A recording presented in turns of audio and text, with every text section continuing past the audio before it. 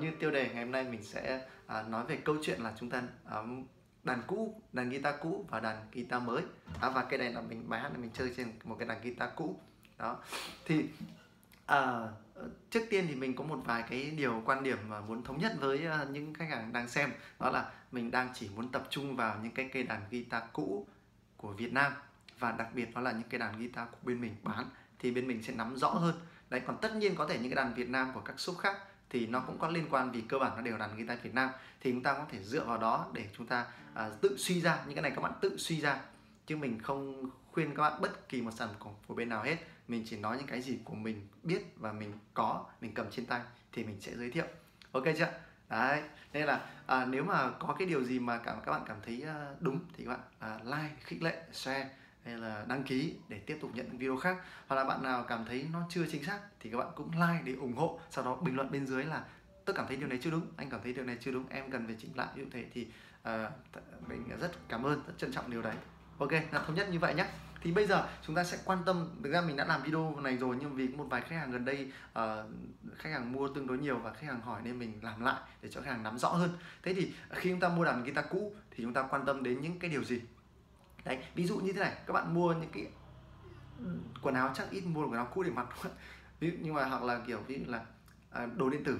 Đấy thì tại sao chúng ta lại quan tâm à, chúng ta lại không thích việc mua cũ chẳng có những người thích mua có những người không thích mua. Thường là thích mua là vì rẻ đúng không ạ? Còn tại sao không thích mua? Đấy tại vì là không thích mua vì mình sợ nó lỗi phần mềm với những cái mà mình không biết đúng không ạ? Thế thì nếu mà tất cả chúng ta đều nhìn thấy hoặc là mua xe máy cũ chẳng hạn sợ là bị bổ máy rồi mà mình không biết.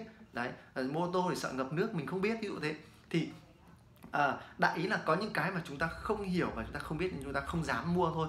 Thế vậy thì bây giờ mình sẽ bóc tách tất cả mọi bộ phận của một cây đàn này ra để chúng ta hình dung là nó sẽ có chức năng gì để chúng ta nghĩ xem là chúng ta có nên mua hay không. Được chưa? Rồi thế thì thế này.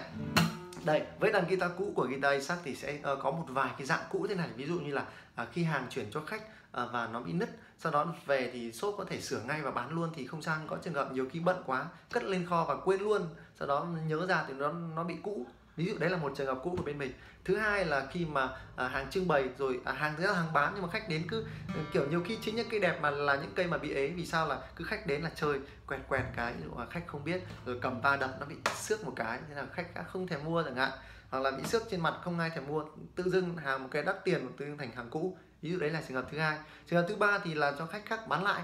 Đấy được chưa thế thì như vậy nó sẽ có vài trường hợp cũ như vậy. Nhưng mà cái cơ bản nhất thì nó phải còn chức năng của một cây đàn, guitar bình thường. Vậy thì các chức năng của nó sẽ là gì?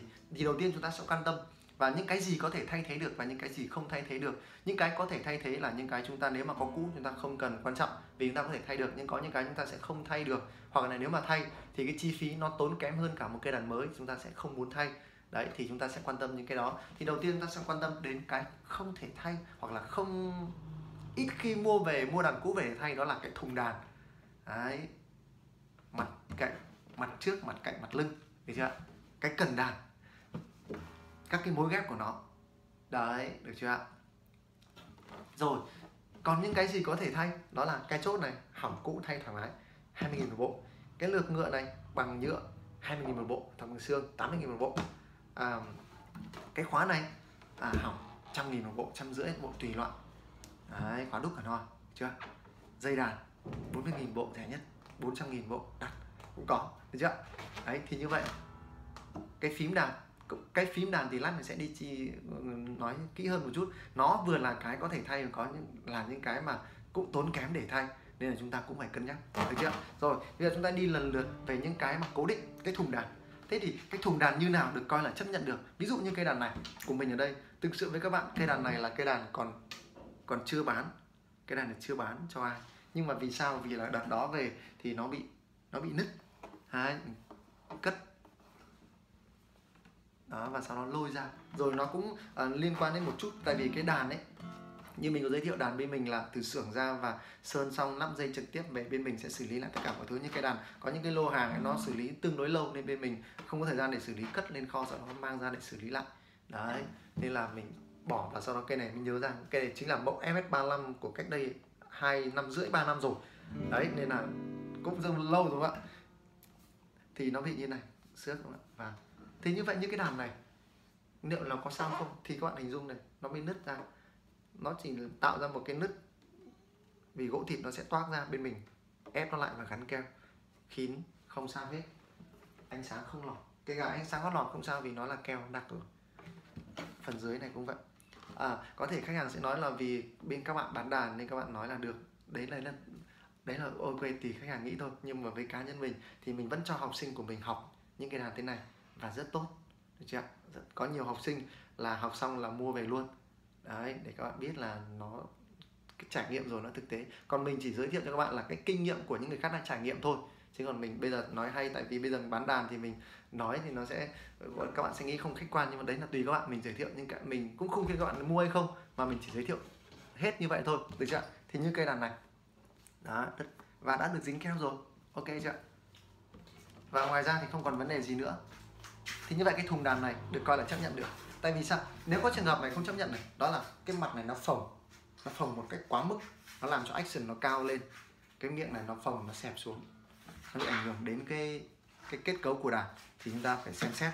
Còn mặt lưng các bạn nhé, mặt lưng thì đàn đàn tốt thường là nó phồng đấy nó phồng là phồng do làm đấy, nên các bạn yên tâm. Rồi thì như vậy xong về thùng đàn. Tiếp theo đến cần đàn. Cần đàn thì chúng ta sẽ sợ nhất là gì? Đó là cái cong cần. Vì cong cần thì sao? Cong cần thì khoảng cách dây nó xa, chúng ta bấm nó đau tay.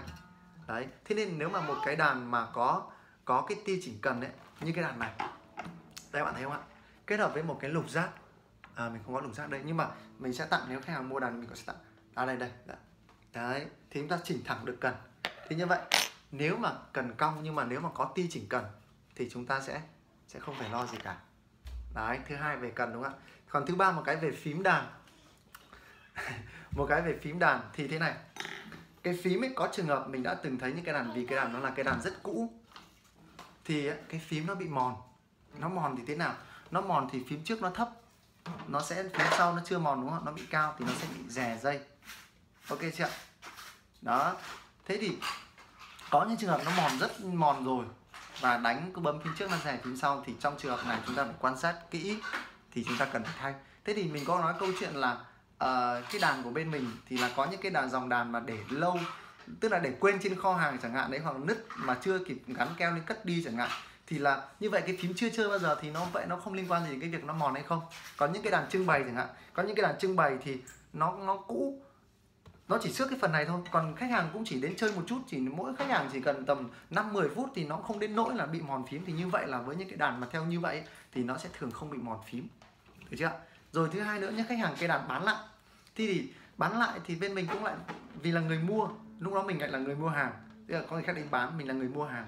Thì mình cũng phải kiểm tra cái đàn đó phải dùng được thì mình mới mua. Nên là nếu cái đàn mà hỏng phím nhiều quá thì một là mình sẽ tính cái chuyện là mình giảm giá để mua lại. Thứ hai nữa là à, không mua. Nếu mà trong trường hợp không khắc phục cái chi phí khắc phục nó quá đắt ví dụ như dòng đàn à, chỉ khoảng tầm à, gần một triệu ngạn thì cái chi phí sửa đi sửa lại nó rất tốn kém nên mình sẽ không mua lại nữa. Ví dụ thế. Đấy, nếu mà mình mòn phím. Thì như vậy tóm lại rằng là mình cũng sẽ đảm bảo cho các bạn là những cái đàn mình bán ra là những cái đàn phải dùng được vì mình đã dùng được mình mua hoặc là mình cảm thấy mình có thể sửa được thì mình mua về và mình mới bán. Được chưa? Thì như vậy là những cái phần cơ bản của nó là thùng cần và phím là ok. Còn những cái phần khác chúng ta hoàn toàn có thể thay. Tất nhiên nếu mà thay toàn bộ bảo trì, bảo dưỡng thì chi phí nó cũng cao vì cơ bản 20 nghìn 20 nghìn 40 nghìn, bộ dây 40 nghìn là 80 nghìn, cái khóa 100 200 nghìn chẳng hạn. Ví dụ đấy công các thứ khoảng 200 nghìn. Đấy, thì như vậy chúng ta phải cân nhắc cái đàn trị giá bao nhiêu tiền nữa được chưa? Rồi nếu mà cái đàn mà quá đắt mà nó bị xước nhiều chúng ta có thể nghĩ chuyện sơn lại. Một cái lần sơn nó khoảng tầm 200 300 500 thì tùy vào cái nước sơn tùy vào cái chất lượng sơn của chúng ta. Đấy thì tóm lại như vậy là cây đàn cũ nó nó nó như thế. Thì rõ ràng là chúng ta nghĩ đến cái chuyện là mua đàn cũ là rất ok đúng không? Thế thì bây giờ à, mình sẽ đánh thử hai cây đàn này bằng tiền nhau. Sau đó sau khi đánh thử lại này thì phần cuối mình sẽ có một vài cái cái điều tâm tình nữa là tại sao khách hàng có những khách hàng lại muốn mua đàn cũ, có những khách hàng lại vẫn thích mua đàn mới nhiều hơn? Đấy. Rồi bây giờ chúng ta nghe thử nhé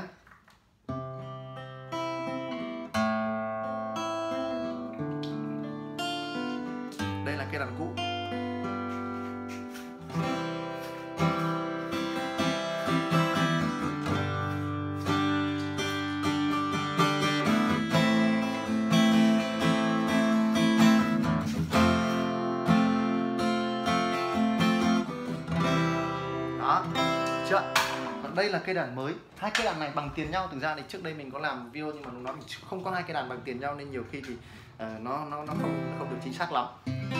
Và khách hàng tiểu chưa được trải nghiệm một cách thực tế lắm. Bây giờ là hai cây đàn bằng tiền nhau đấy.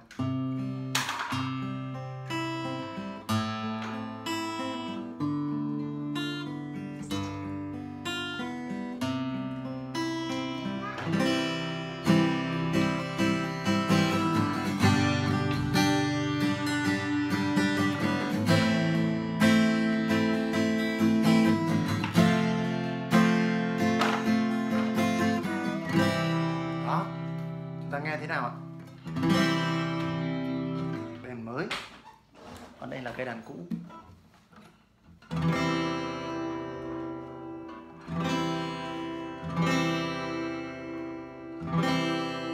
Đó, thì rõ ràng cái cây đàn cũ này, cái tiếng của nó chắc chắc tiếng điều tương đối dễ hiểu thôi. Thứ nhất nó là gỗ thịt và sau một thời gian thì cái tiếng nó vỡ. Tất nhiên cái này còn ít chơi. Đấy. Nếu chơi nhiều nó còn ổn định hơn nữa cơ. Đó, và như vậy là nó chắc tiền hơn. Tại vì cái đàn trước đây cái này đắt tiền hơn. Vì nó cũ bằng tiền cái đấy thì nó phải đắt tiền hơn trước đó. Các bạn nhìn thấy ở đây, cái hình thức của nó được được đẹp rõ ràng các bạn nhìn thấy không? Hai cái đàn nó nhìn nó sắc. Cái đàn đắt tiền nó sắc hơn hẳn. Kể cả mặt sau bạn nhìn nữa. cách sơn của nó, gỗ của nó nó ra là chắc chắn hơn. Thứ hai nữa các bạn nhìn một điều đơn giản nữa cái đường viền thường thường đàn thường là cũng thường đàn kỹ hay làm cái viền cần như này viền màu trắng các bạn nhìn thấy không ạ? Đó cái này thì không có đâu. Đấy. Rồi thế thì nói đến đây thì thường thường là à, khách hàng cũng đang tương đối phân vân. À, nói đến vậy thôi tại vì là cái tỷ lệ khách hàng mua đàn mới vẫn tương đối cao. Thì thế này à, tại sao khách hàng muốn mua đàn mới? Thì đơn giản thôi thứ nhất là à, vì là à, um, như nào nhỉ? Ờ, tâm lý. Đấy, tâm lý khách hàng thường làm cái gì mới. Đằng nào mất công bỏ tiền ra hai cây bằng tiền nhau thì tội gì mua đàn cũ được chưa? Thứ hai là à, có những khách hàng muốn mua là giống như là à, mua xong mình tập mình gắn bó làm kỷ niệm với mình luôn nên mình không muốn dùng của người khác ví dụ thế. Ý là hoặc là uh, mua từ đầu mới xong là không xước trong bắt đầu mình về thì uh, mình tự bảo quản. Đấy chứ nhiều khi này nó này thì nhiều khi này nó đi theo nhiều khi đấy như là cái vết vết này chẳng hạn thì nó, nó nó không thích chẳng hạn. Đấy vì tâm lý. Hoặc cũng lại là là vấn đề tâm lý nhưng mà thôi nó là kỷ niệm thì có thể khách sẽ không không thích đàn cũ. Đấy à, thứ hai. Thứ ba là à, đúng rồi tâm lý nữa là khách hàng cũng chưa hiểu rõ đàn cũ và đàn mới. Giống như khách hàng vẫn nghĩ nó là giống như quần áo giống như là điện thoại đấy nghĩa là những đồ điện tử như vậy thì nó cũ và nó sẽ làm mất đi chức năng của nó. Nhưng mà sau khi phân tích xong thì bạn thấy không? nó không mất chức năng của nó đúng không ạ? Rồi um, còn một điều nữa điều rất quan trọng đó là vì khách hàng chưa xem video này. Ok đùa vậy thôi. Nên là nếu như mà mình nghĩ là các bạn có thể chia sẻ cái điều này để cho nhiều khách hàng cùng được biết hoặc là khi các bạn được nghe rồi à, các bạn đã nghe đến đây rồi thì chứng tỏ các bạn rất quan tâm. Thì các bạn nắm được những cái cơ bản như vậy thì à, các bạn có thể đi phân tích có những khách ạ. Có bạn nào đó mà đang muốn mua đàn các bạn có thể tư vấn. Đàn cũ đàn mới thì tùy đấy thì tùy theo cái cái nhu cầu. Đấy, nếu mà chúng ta muốn mua một cái đàn guitar gắn bó từ đầu ví dụ như cái này nó đến triệu rưỡi cơ. Đấy chứ không phải là rẻ đâu. Thì chúng ta chỉ muốn mua tùy vào tài chính nữa đúng không? nếu chúng ta có triệu rưỡi thì mình các bạn cân nhắc. Nhưng mà thường ví dụ bảo à, bây giờ tôi có triệu rưỡi tôi mua đàn cũ hay làm cái gì? Tôi mua đàn mới chẳng hạn. Đấy thì đấy là tùy tùy khách hàng thôi ví dụ như cái này mà nếu mà cả cũ thì nó cũng rơi khoảng tầm triệu mốt thì đấy là một cái cơ cơ hội mua. Nhưng mà thường mình ít khi có đàn cũ vì cơ bản là ờ, nay nhân tiện là có một bác đang muốn test cây này. Thì mình nhân tiện là quay mình test luôn lát mình gửi cho bác ấy bác ấy xem luôn. Đấy chứ còn thực ra thì ít khi có đàn cũ để để mà test lắm. Tại vì đó đàn cũ nó cũng tốt mà. Đấy. với lại học sinh có chung có cây nào là học sinh đến chơi là thường là là gọi là khuôn đi sạch. Đấy ok. Rồi thế thì uh, uh, quay trở lại một lần nữa thì uh, mình cũng khuyên các bạn là tùy vào cái số tiền mà các bạn mua. Thực ra mình cũng không khuyên các bạn mua cũ hay mua mới vì quan điểm bên mình là sẽ không ít khi khuyên khách hàng là là là như thế nào cả. Chỉ là phân tích cho khách hàng hiểu được cái ưu điểm nhược điểm của từng cái dòng sản phẩm đấy. Thì sau đó khách hàng tự cân đối. Chứ mình làm sao biết khách hàng có bao nhiêu tiền để mua? Làm sao biết là khách hàng mua làm kỷ niệm hay không? Làm sao biết ờ, điều này điều khác của khách hàng? Nhiều cái lý do chứ. Thì sau khi mình phân tích cái ưu điểm như này lợi điểm này và khách hàng tự xem uh, mình thì nó phù hợp với như thế nào thì khách hàng sẽ là người tự quyết định. Ok cảm ơn các bạn rất nhiều vì thực sự video này tương đối dài vì uh, nó là thượng tâm tình nó sẽ dài. Và nếu khách hàng uh, quan tâm đến sản phẩm của guitar sắt có thể liên hệ với bên mình uh, qua hai thông tin đó là số điện thoại Zalo 097135 097135 3332 hoặc là 0936 984 989 cơ sở chính bên mình 42 Kiều Mai Bắc Từ Liêm Hà Nội. Bên mình mở cửa từ thứ hai đến thứ bảy 8 giờ đến 19 giờ. Nghỉ chủ nhật và nghỉ các buổi trưa từ 12 giờ đến 1 giờ 30 Ok các bạn nắm rõ lịch nhé. Còn nếu mà các bạn đến ngoài giờ thì các bạn cứ gọi điện nếu như mình nghe được thì mình sẽ hỗ trợ. Còn nếu mà không thì tốt nhất là nên đến trong cái giờ mình làm việc. Đặc biệt là chủ nhật thì các bạn không không không nên không không cần gọi.